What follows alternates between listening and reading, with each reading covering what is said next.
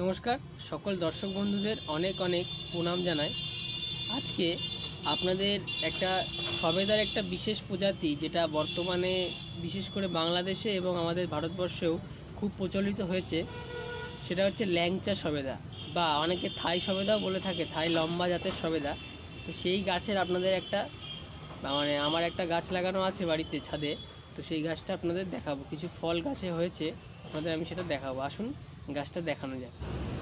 এই যে সবেদা গাছটা আপনারা দেখছেন, এটা কিন্তু বর্তমানে সবাই মোটামুটি ছাদ বাগানে করছে। আপনারা ছাদেও করতে পারেন এবং ব্যবসা ভিত্তিক চাষও করতে পারেন। এই ফলটার একটা বিশেষত্ব হচ্ছে, বিশেষ করে এই ভ্যারাইটিটার, সেটা হচ্ছে মোটামুটিভাবে সারা বছর গাছে ফল থাকে এবং ফলটা কিন্তু থোকায় থোকায় হয়। আমার যেহেতু ছোট গাছ, এই কারণে থোকায় থোকায় হয়তো হয়নি। দুটো কোনো ডালে তিনটে এইভাবে হয়েছে। মোটামুটিভাবে যদি আপনারা করতে পারেন, তাহলে কিন্তু বারো মাস ফল থাকবে এবং ছাদ বাগানে একটা সৌন্দর্য থাকবে। তার পাশাপাশি আপনারা বারো মাস এই গাছ থেকে ফল হারভেস্টিং করতে পারবেন। একদম খুব সহজেই আপনারা এই গাছটা যে কোনো নার্সারিতে পেয়ে যাবেন। এখন সব জায়গাতেই পাওয়া যাচ্ছে। এটা হচ্ছে থাইল্যান্ডের লম্বা সবেদা বা ল্যাংচা সবেদা বলা হয়ে থাকে। এটা বিশেষত্ব হচ্ছে এর ভিতরে বীজ একদম কম থাকে, দুটো বা একটা, আর এর খোসা একদম পাতলা। এবং সবেদাটাকে কিন্তু আপনারা চাইলে গাছেই পাকাতে পারেন। এটা গাছেও পেকে যায়, আপনারা আবার গাছ থেকে ছিঁড়েও পাকাতে পারেন। তো আজকে আমি কিছু সবেদা মোটামুটি সবকটাই গাছ থেকে সংগ্রহ করব, করে আপনাদের দেখাবো যে আলটিমেটলি কীরকম রেজাল্ট আসলো।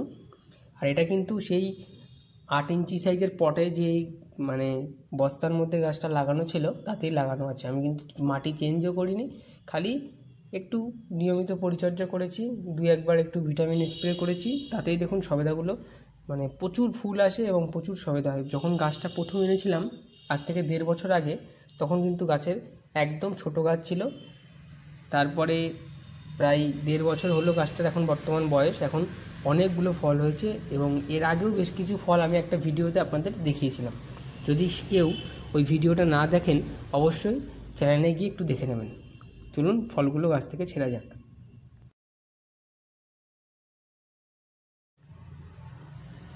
তো আপনারা দেখুন, এইখানে এই হচ্ছে আলটিমেটলি হলো, বেশ সবেদাগুলোর সাইজ কিন্তু প্রতিটা সবেদায় বেশ বড় বড় হয়েছে এবং প্রত্যেকটা সবেদায় কিন্তু আশা করছি পাকানো যাবে। তো এই আজকের ভিডিও ছিল। আপনারা অবশ্যই ছাদে এই গাছটা লাগাতে পারেন, খুব ভালো রেজাল্ট পাবেন।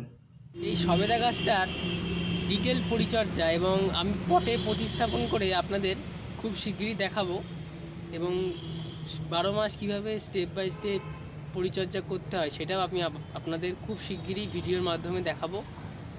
তো আজকের ভিডিওটা এখানেই শেষ করছি। কেমন লাগল জানাবেন। আর সকলে ভালো থাকবেন এবং বাড়িতে অবশ্যই একটা করে এরকম সবেদা গাছ লাগান। ধন্যবাদ, সকলে ভালো থাকবেন।